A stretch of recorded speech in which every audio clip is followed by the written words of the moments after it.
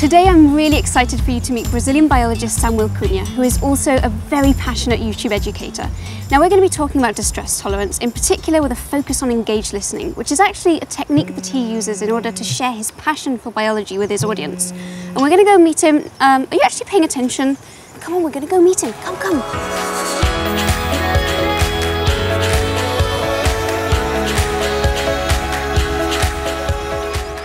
So I have a question. For you as a biologist, what made you decide to open a YouTube channel about biology? Eu amo biologia, né? Sempre gostei da biologia. E durante a graduação, durante a minha graduação na biologia, eu percebi o quanto é maravilhoso o conteúdo da biologia. Aí eu pensei assim: como é que eu posso pegar esse conteúdo e tornar acessível para o público em geral? Aí eu pensei: vou abrir um canal no YouTube com total liberdade para fazer vários esquemas e, e transformar a biologia acessível para as pessoas no geral. What made your most successful video the most successful one?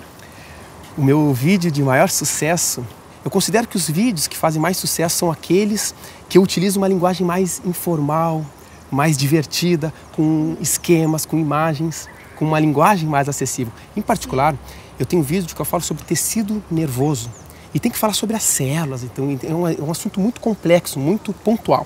Eu faço até no início do vídeo o, o, o desafio do manequim, então eu fico parado assim e a câmera vai passando e nesse momento eu estou explicando os, alguns conceitos importantes desse assunto e as pessoas prendem atenção e ficam curiosas para saber mais. Hmm.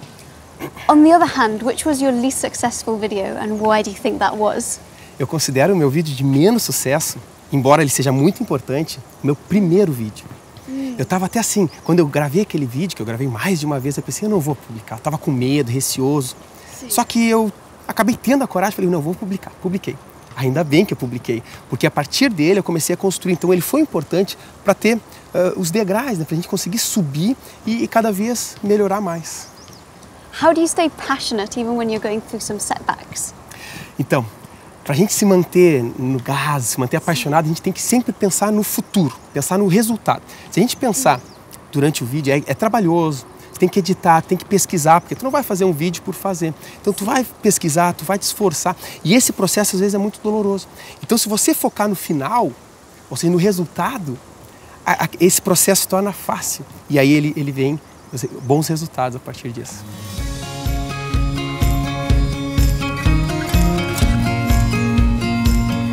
So one thing you do really, really well is break down complex topics in simple ways. For example, here you're explaining the difference between genotype and phenotype. How do you do it?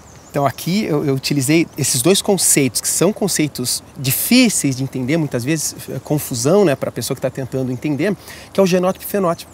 Nesse caso, os dois gêmeos estão ali. Um deles sai para a praia, vai passar uma temporada lá, né, fica bronzeado, e o outro gêmeo ficou em casa, só estudando. Quando o gêmeo volta da praia, bronzeado, eles ficam aparentemente diferentes. Um está mais claro, o outro está com a pele mais bronzeada.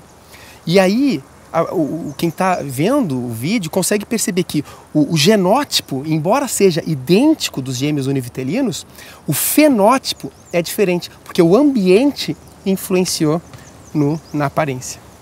One of the things I love about your content is not only do you break it down simply, but you also make it really entertaining as well.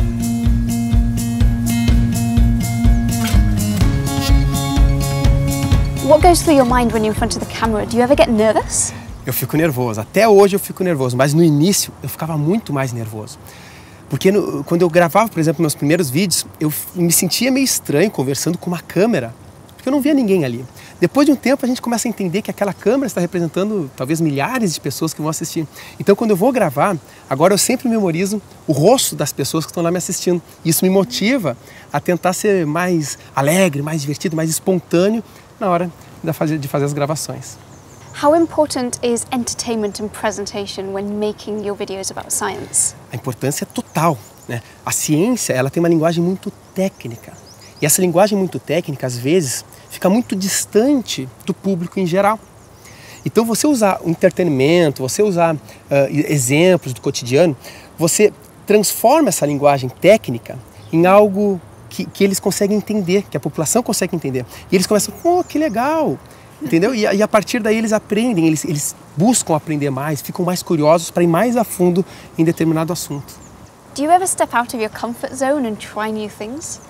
É, então, é, sair da zona de conforto é algo que a gente tem que fazer sempre. Por exemplo, quando eu saí da minha zona de conforto e, e comecei a produzir um material com maiores detalhes, ou seja, quando, quando eu, eu tive vontade e, coragem de, de produzir eh, um vídeo diferente, com mais exemplos, eu notei que as visualizações começaram a aumentar, as pessoas começaram a, a, a, a se engajar mais, a, a, compartilhar mais, a comentar. E isso, logo quando eu fiz, isso foi no quarto ou quinto vídeo, eu percebi que para você usar uma linguagem mais divertida, faz toda a diferença para você buscar público e para atrair a curiosidade deles para o conteúdo de biologia. Training your distress tolerance can begin with being clear on what your values are. Click the link to go to the Curious Elements program and start training your curiosity today. Ciao. Ciao. Bueno, por